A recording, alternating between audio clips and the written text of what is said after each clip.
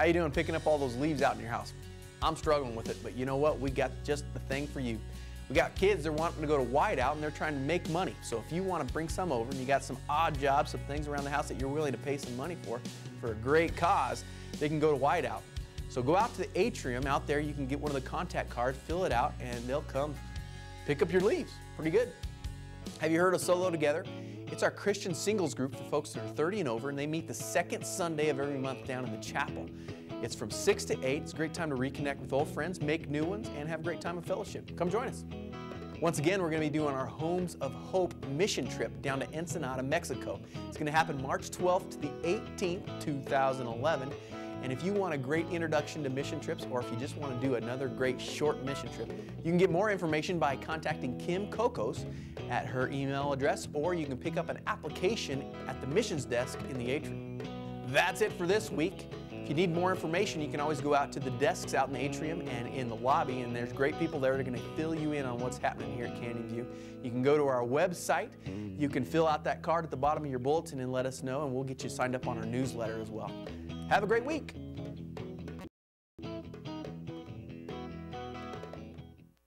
When you think of poverty, do you see a face? Here's one. Here's another one. Here is Kate. Kate lives in the Philippines, a small set of islands speckling the South Pacific. Kate's face is only one. One of 30 million faces, lives, and hearts existing, breathing, and surviving in poverty. In the Philippines, just one set of speckles on a globe full of Kates. Kate's face is only one.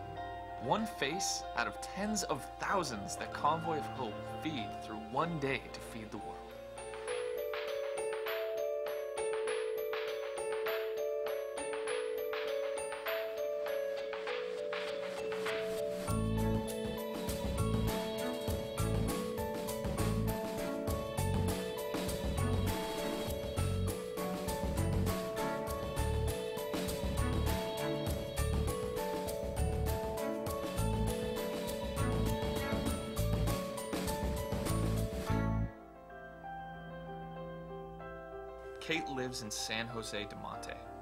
Squatter relocation camp created with good intentions by the Filipino government. Sometimes I I go to I go to bed, I sleep, I I have no food in my stomach. It's exciting when the food comes in our house. I receive the food in from the church every Saturday. But it doesn't stop there. Kate and her friends also receive a portion of food to help supplement their family's meals until the next week. Kate will be back next week, and for many weeks to come. That's because she knows the importance of food, because she's experienced too many school days without it. If I don't have enough food, I I can't concentrate in my study and I can't understand what my teacher was saying to me. The food that they give to us, it helps me to memorize the the lessons that my teacher to, rem- to memorize. You see, Kate has placed a lot of value in her education. She's smart. She knows that she can provide a better home, and more importantly, a better life for herself and her family. That's why we keep seeing Kate's face week after week. Well nourished kids like Kate thrive in school, at home, and for the rest of their lives. And that's why one day, when we think of poverty, we won't see Kate's face. Thank you because the food that they give to us will will not be hindi po masasayang. Will not be wasted.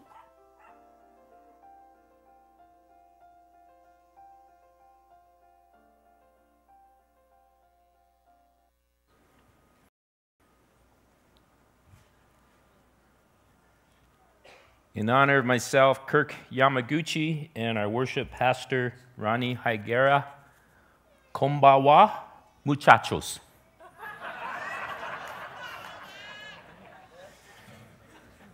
Didn't know I was multilingual, did you?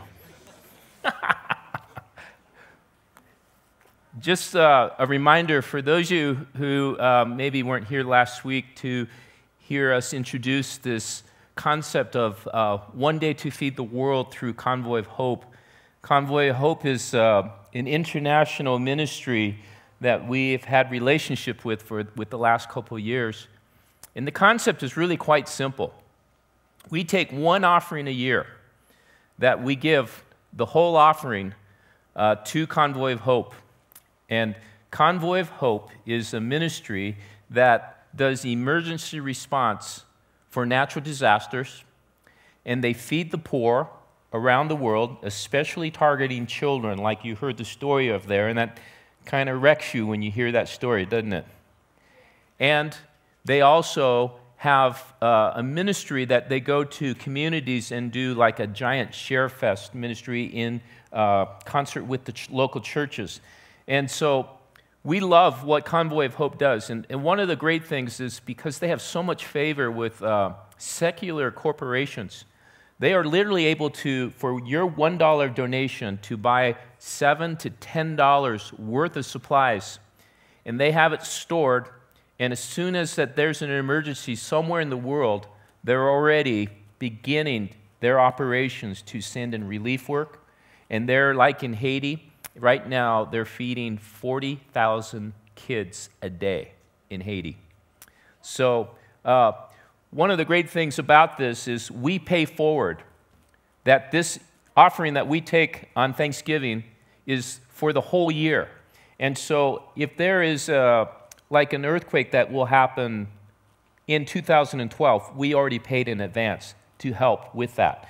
And so, we just encourage you guys to talk with your families and to pray about considering literally taking one of your day's wages, whatever that would be, writing a check next week to, to Canyon View Vineyard Church. We're going to collect all that money at the end of the service. This is over and above the tithe, and we are going to give that amount to Convoy of Hope. Last year we raised 48, over $48,000.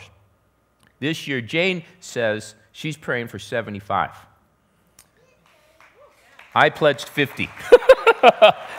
but anyway, uh, be praying for that. We're talking to our kids on how they can re- uh, respond to this and how they can participate. And there are many ways that, uh, that I think you guys can be creative about taking lunch money or taking part of uh, selling something or doing something that you can give for Convoy of Hope. Okay? Well, this is a special weekend for us, uh, for our family, and a number of the good looking families that are sitting over here. And uh, two Fridays ago, Gracie and I piled up in my car and we drove down to Denver because we wanted to watch uh, my nephew, who's a senior at Palmer High School, play Lakewood High School in, in the playoffs. And he's a middle linebacker for Palmer High School and never seen him play, and so we went to watch. And um, by the way, Palmer won 32 to nothing. So, but they lost today. Anyway, um, Gracie was in the, in the stands with us, and there was this young man who came and sat by us, and uh, he had a, an earring in his lip right, right here. I guess you would you call it a lip ring? I don't know. So, so Gracie, being inquisitive like she is, she's five years old, and we adopted her from China four years ago, and she's not real shy, as some of you know. And uh, she goes up to him and she's looking at him, and we're all watching this, and I'm going, oh no. and she goes, What happened to your lip? and the guy started playing with her, and he goes, It's a fish hook. and so she goes, How'd you get a fish hook in your lip? He goes, I was swimming in a lake and got caught in my lip. Gracie puts her hands on her hips and she looks at him. Goes, Put this on your list don't swim in that lake anymore.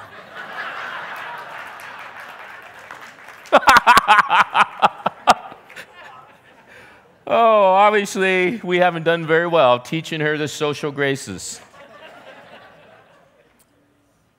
so, today, as this is our adoption weekend during our uh, social justice month, I want you to put this on your list. God has a special place in his heart for the fatherless. Man, I was praying that I wouldn't cry tonight. How do I know this? Because it's in the scriptures. Psalm 10, verse 17 says, You hear, O Lord, the desire of the afflicted. You encourage them, and you listen to their cry. Defending the fatherless, the orphans, and the oppressed. You know, uh, one of wonderful families in our church that had already adopted before we got came here. They have adopted a, a, two beautiful kids from Ethiopia, and their biological daughter Erica has had the blessing of experiencing having two orphans join their family and blend their families together. And uh, Erica has a real gift, and Erica took it upon herself to write a song in honor of the orphans that are still in orphanages. And John James, our video guy, uh, produced the music and made this music video. And let's turn to the screens and watch Erica's video. Hi, my name is Erica. Four years ago, back when I was 11, I didn't think much about orphans. But then my parents went and adopted a brother and a sister. It changed the way I looked at the world. So I wrote this song for all the orphans left behind.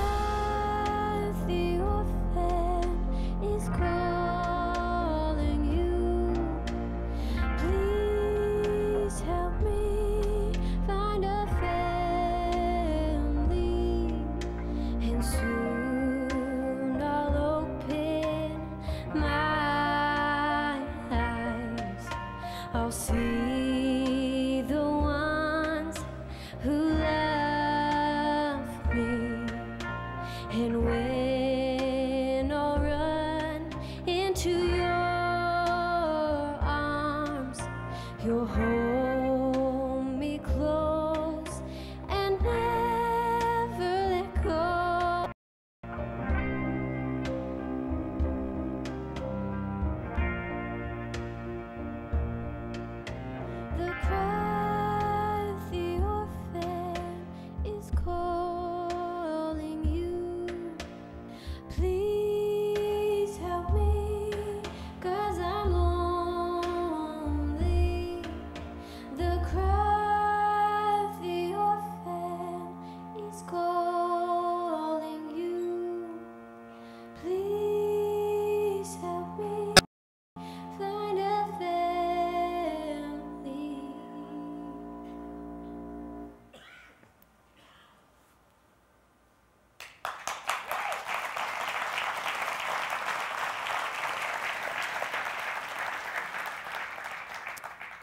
The, the word fatherless or orphans is used 45 times in the scriptures, the Old Testament to the New Testament.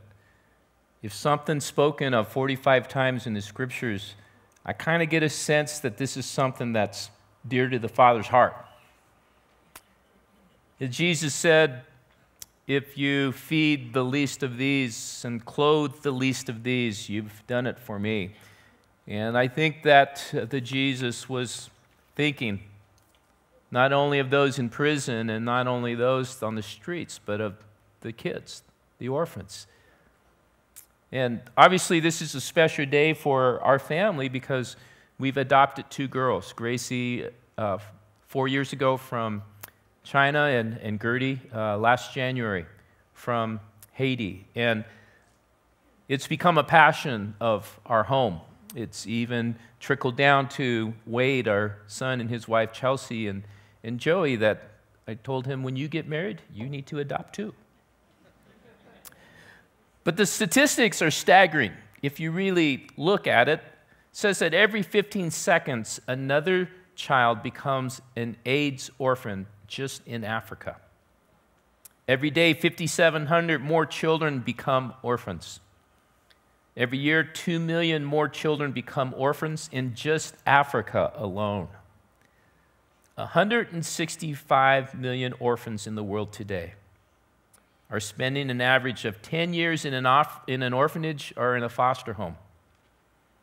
And then approximately 250,000 children are adopted annually. That's the good news. But every year, 14 million children are still growing up in orphanages and they age out of the system. And these kids that age out of the system in Ukraine, in Russia, they say that 10 to 15 percent of the children will commit suicide before the age of 18.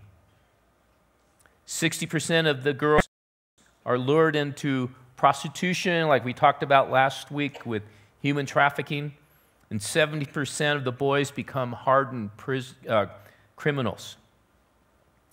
Many of these kids obviously accept jobs and are lured into human slavery, sex trafficking, and so forth. So we have a, a group of wonderful folks that have answered the call of the orphans already. And I just want to, uh, for you to maybe see some of them. So, those of you in this room that have already adopted, whether recently or even some of you I know years ago, can, can you please stand because we want to acknowledge you?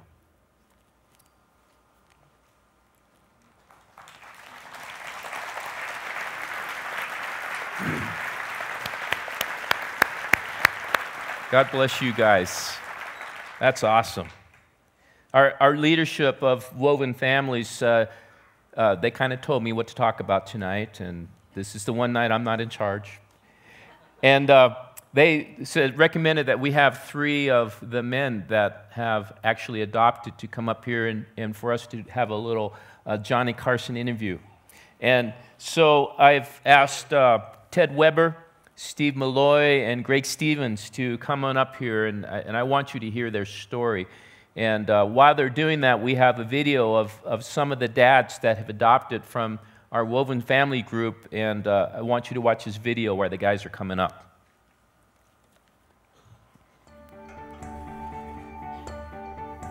I'm David Brown, and I'm a stay at home dad. Paul Waters, I work for Xcel Energy. I'm Ted Weber, and I'm a fireman for the City of Grand Junction. I'm Dan Welsh and I roast coffee for a living.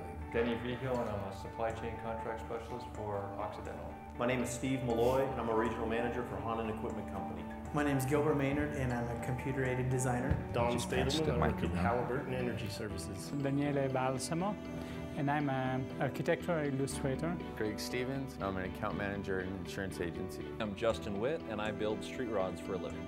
I'm William Cox and I'm a police officer. I'm Kirk Yamaguchi, and I'm the token Oriental pastor in Grand Junction.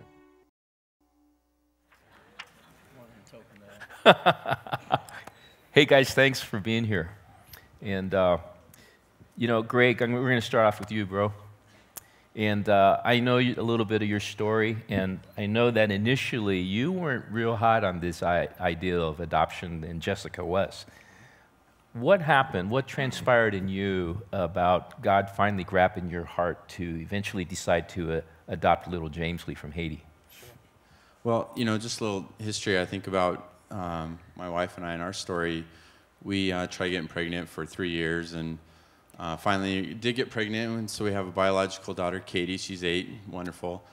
And uh, continued to try to get pregnant after that and just, you know, couldn't, couldn't make it happen. So tried all the fertility drugs and everything else, and um, just didn't, you know, it wasn't in our, wasn't in the plan for us. So I did have some friends talking to me about adoption, but I just constantly, like you said, just put it off, you know. And Jessica was all for it, and you know, adoption, adoption, adoption, and I think the thing that clicked for me is when I came um, and heard about orphans rather than adoption. That was a big transition for me when it stopped being about adoption, and I thought of adoption as you know other things. And when it started becoming realistic um, and started becoming real um, about the orphan, that was a big change for me. So you brought James Lee home from from Haiti after the earthquake, like we do, we did, and so how would you describe how James Lee has changed your life personally?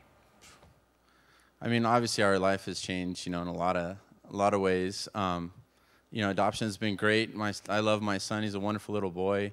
Um, but, you know, it's been hard as well. You know, I think adoption for us has been um, a God given mechanism in our lives to bring out some issues that may not have come out in our own lives um, that have drawn us to a closer relationship with the Lord overall. It's been wonderful. So it's been kind of a, a refining thing for you. Absolutely. And yeah. I, you know, I, I just have to venture to guess that those issues wouldn't have come about had we had not answered the call. Yeah.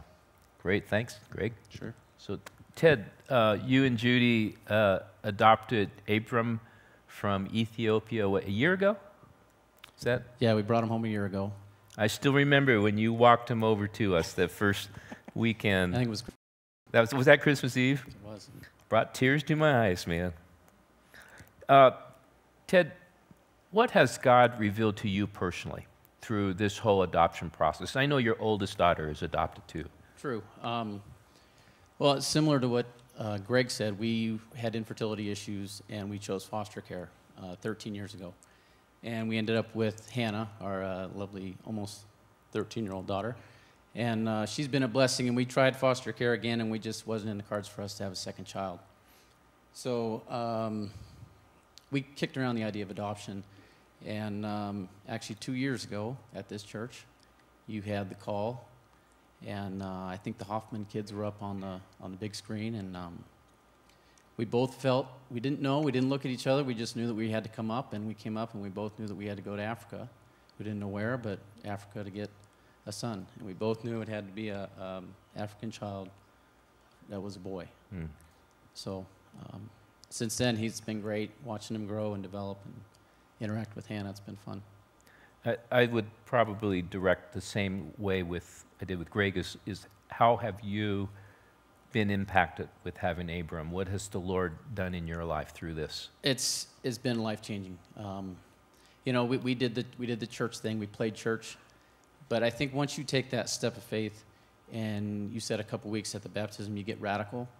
That's, I think that was our color. That's what we've dove into as a family. And um, we've just embraced it. And because of that, uh, we're going back to Ethiopia, and uh, we just received referral for two more children. So um, a boy and a girl. Boy and a girl, and they're older children. Yeah. Um, both my wife and I aren't spring chickens. We're not over the hill yet, but uh, we, are done with the whole baby thing. So um, we adopted Abraham when he was six, and then uh, our two newest children will be five and nine. So we have a heart for older kids, and um, because you know, like you said, they age out and they're forgotten. Yeah, the aged out kids sometimes are the most difficult for orphanages to adopt. So uh, God bless you guys for what you're doing. With Stevo. How you doing over there? I'm good. We saved the best for last, right? Oh, I don't know about that. so, with Steve, you you had one daughter, and, and now you have adopted two beautiful young boys yes. domestically. Domestically. Domestically, yeah. and be sure and talk into the microphone, Steve. Okay. Okay. So, um, how did you guys come to this crazy, radical idea about adopting two these great boys domestically? Um, you know, uh, it wasn't, uh, it was the same, we had infertility issues too. So our, our daughter, uh, our biological daughter, uh, is a gift to us through in vitro. And um, so we tried to do it. Uh, you know, we tried to plan. We, we, it was all, you know, it was, it was all about us at that time. And um, we were at a church service in Casper, Wyoming about oh, five or six years ago. And there was a young missionary couple that uh, were speaking from Africa she was in the medical field, and uh, he was just, uh, I think he was a carpenter and was helping to build uh, schools. And she was, uh, they would go over to Africa and administer uh, vaccines in, in, orphanages. So, needless to say, that their, their heart got wrecked. But one of the things that uh, they shared, which was, I hope I can get through it. But one evening, um, the lady was coming back to wherever they were staying, and they were walking and heard a, kind of a muddled cry and uh, it was coming from a latrine. Uh, excuse me. And there was actually a child left in, in a latrine to die. And um, that child was there. They, they, they brought that child in, they saved that child, and that child was standing there at church years mm. later, you know, eight years old. And, and, sorry. So at that moment, I understood that what we had, what we had been trying to do was, was it was selfish for us. We were trying to grow our family for us, my wife and I, and me in particular. So at that point, I knew it had nothing to do with me anymore. It was all about the children. So I knew right then that I could adopt them, another man's son. I could that I, I was I was game at that time. Mm-hmm. So it was really, that was the aha moment, if you will.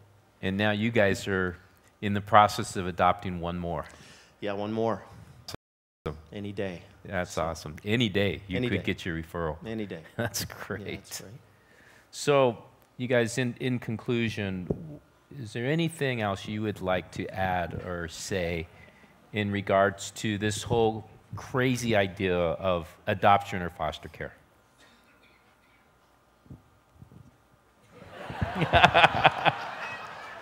I think it's simple. Um, you need to get outside of your comfort zone. Uh, I thought about this question a lot this week, and um, the thought that kept coming to my mind was Jesus walking across the water, and he came across the fellows in the boat. And uh, he said, Don't worry, it's me. I'm paraphrasing, by the way. And um, Peter says, Lord, if it's you, call me to you. And Jesus said, Come. Hmm. And Peter got out of the boat and he walked to him. So I would just ask you all check your hearts. If your heart's pounding right now, probably something that he's trying to tell you. Get out of the boat and walk. Amen. He's gonna, he's gonna, he's gonna hold on to you, and he's not gonna leave you. I mean, you just got to get outside of your box and get radical and just all out. Don't play church, live it. That's tough to follow. um, I would say much the same. I mean, the, the the, the biggest thing that kind of held us back is just fear. Um, you know, we, we, uh, we insulate ourselves uh, in this society, and, um, you know, a lot of people enter into the back of their house through the garage and out, and you never see your neighbors and all that. And it just, you just, there's a certain amount of fear that, that gets involved in, in, uh, in the adoption process, whether, whether it's financially or just changing the dynamics of your existing family. But um, you have to you have to lay that fear down, um, and and you do get radical. But I think um, if you truly do have compassion, and if you you look at Jesus, I mean, he, Jesus had compassion, but that compassion translated into action. And um, if you just have empathy without action, it's apathy, hmm. and that's not good. Okay, so that's a great word. I think for us, uh, and something else I would encourage is to get tapped into um, resources that are available to you to support you during that time as well. I know for uh, Jessica and I, um, you know, we really dealt with a lot of attack once we kind of stepped forward in that area, and we've had some wonderful people in our lives support us, and you know, our, our ministry is a good example of that. Um, the friends and the resources that uh, that we have supporting us throughout. So Awesome. Hey, what'd you guys think? They did a pretty good job, huh? Thanks, you guys. God bless you. God bless you.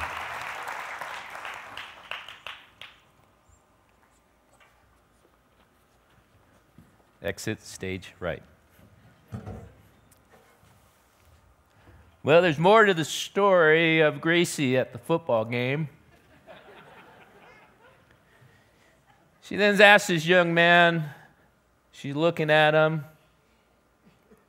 Are you married? And he goes, No, I'm not married. And she goes, Well, how come?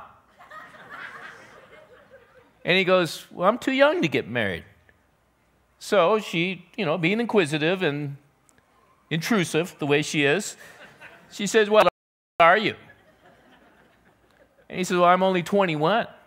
And she puts her hands on her hips again and she goes, Well, my brother Wade is 21 and he's married, so you should be married too. And I could see the look in this guy's eyes then, like, Who is this chick? But like these guys were saying, if God's tugging on our hearts, and the one thing I want to emphasize here is we're not just promoting just adoption, that there's foster care, but we're also promoting that we as a church support the ministry of these orphans.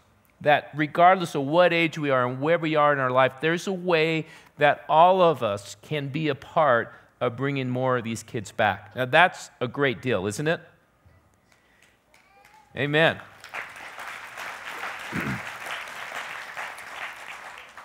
so, with regardless of whatever excuse that we have, I, I think the reality is, is we need to ask, what is God saying to you? It's a personal thing. It's something that we have to be open to the Holy Spirit speaking into each of our hearts. I, I know that uh, adoption isn't for everyone, it's a special, unique calling for a few. If God didn't wreck our hearts, Jane and I, about seven years ago, on this issue of, a, of the orphans and adoption, we would have never done this. This is crazy, it's stupid. It, Joey is a senior in high school right now, our youngest son, and a year from now, we would be empty nesters and free. I'm going to be 68 when Gracie graduates from high school. I told Wade and Joey, you're going to push me down the aisle when she gets married in my wheelchair. but is God tugging on your hearts? Is this something that maybe you have kind of put off to the side? Is, is this something that those excuses have continued, but maybe is tonight the night that God's saying, Will you respond to the cry of one child that's crying out for a mommy and a daddy, that's crying out for a and that's crying out for your love? You know, uh, there's, as I said, there's a myriad of ways that you can respond. And in your bulletins there, you were given a packet, and there's a sheet of paper in this that has three ways that you can be involved. And as you look at this, you can see that you can do maybe one of these three. You can adopt a, a tote, adopt a tote project for foster children, and there's a desk out there that explains what this is of, of how you can help these kids that are taken out of their homes and in distress. And many of these kids are taken out with literally only the food or the clothes on their back. And, and we want to help the human services folks to provide for these kids. Maybe you could donate to Lifelong or Lifesong. What Lifesong is, it should be Lifesong for orphans. What this is, is uh, a way that we can help families that are adopting financially. That you can give tax deductible uh, donations to Lifesong, and this goes into a fund for Canyon View and families from Canyon View that are adopting, they apply to this and they do a matching grant for them. And so uh, you could do, you could uh, put resources into that. And the third thing is we are going to have a uh, run, river run for the orphans. Uh, looks like the beginning of June, and you could volunteer for that. You could start training now and run in it. And uh, so you could be, if you have a business, you could help uh, support it and be a sponsor. So those are some of the ways that you can be involved. But what I want you to do is if you have something that God's tugging in your heart that I think I need to respond somehow, that, that I need more information, I, I want to get introduced more to what's all involved in either adoption or foster care.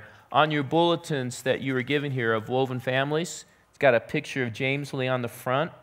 It's got a slip that you can fill out and tear out and the ushers will be standing at the door with uh, a bucket, and you can put these in there, and someone from the Woven Families Ministry will follow up with you.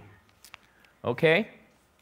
So, two years ago, we, we had this wild idea that I, I just, you know, I think it's good sometimes to pray, and, and sometimes you these big, bodacious dreams, you know? And so I had a dream when we came here, Jane and I, and, and Jane wanted to start this adoption ministry. And, and really, all of these families that are here and involved here, uh, it's a credit to my wife, Jane, not me. So let's give Jane a hand for all of her work that she's done here.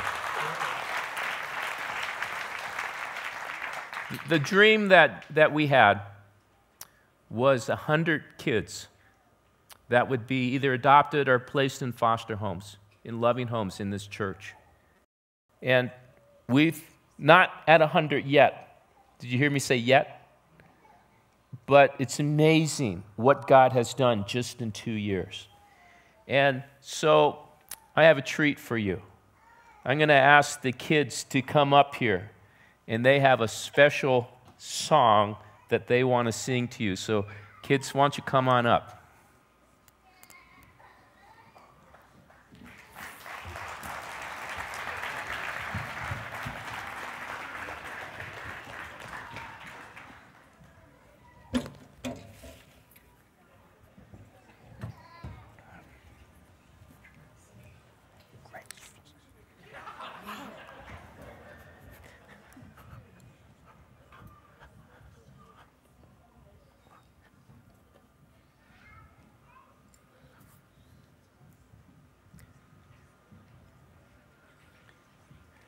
What, what you see here is these are kids from various families that have either been adopted or in foster care.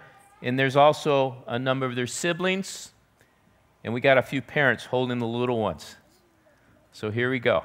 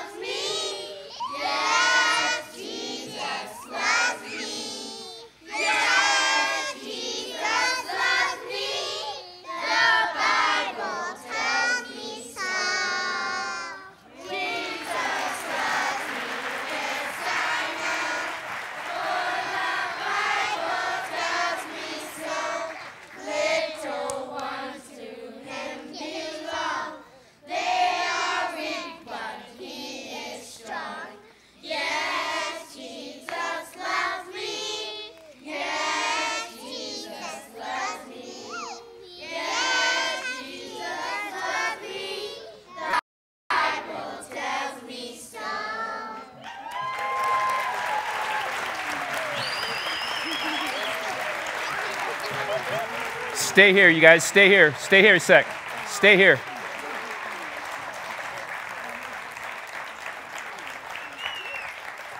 Okay, you guys. Wrap your minds around this. Here in Grand Junction, we have kids from South Korea. Gracie, we have kids from China. We have kids from Russia. We have kids from Africa from South America. We have kids from the United States, and we have kids from Grand Junction that now have found a home. that now have a mommy and a daddy, that now have hope, that they have been brought here from the four corners of the world and they're singing about Jesus.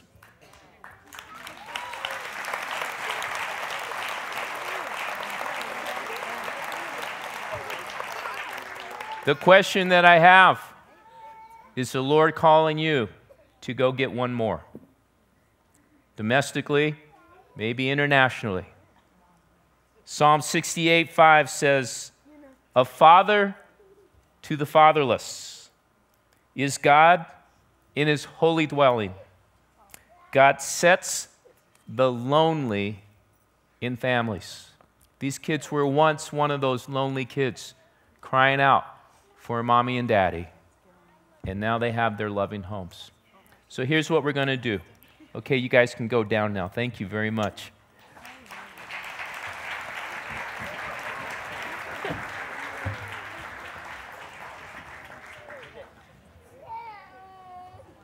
We're going to give uh, you an opportunity to respond to the Lord if God is tugging on your hearts. And if you feel like you need to do something to help an orphan or a foster kid to find a home, we want you to, let's just all stand right now. And we're going to have the ministry team and any of the Woven family parents that want to pray. We're going to be up here and as the music is playing, we're going to invite you to just come forward and get prayer. Get prayer for God to give you direction and for God to give you the resources and for God to lead you and to give you wisdom. Because this is something that we as a church, I think God is smiling on us because we're responding to the needs of kids like this. And so, Lord, right now, I pray that, Holy Spirit, you would come and that you would move in the hearts of any men or women that are in this room right now where you're saying, I want you to go get one. Or I want you to be deeply involved in helping others to go get one. And so, Lord, for whoever that is, that you're breaking their hearts for what breaks yours in this particular area, Lord, I pray that you would meet them here tonight and that your kingdom would come in their hearts as it is in heaven. And we pray in Jesus' name. Amen. God bless you as you go from here. I hope this was a blessing for you guys tonight. Please check out the information booths as you go out. In there, they have cookies for you if you want. And for those of you that would like prayer, please come forward. We would love to pray with you. God bless you.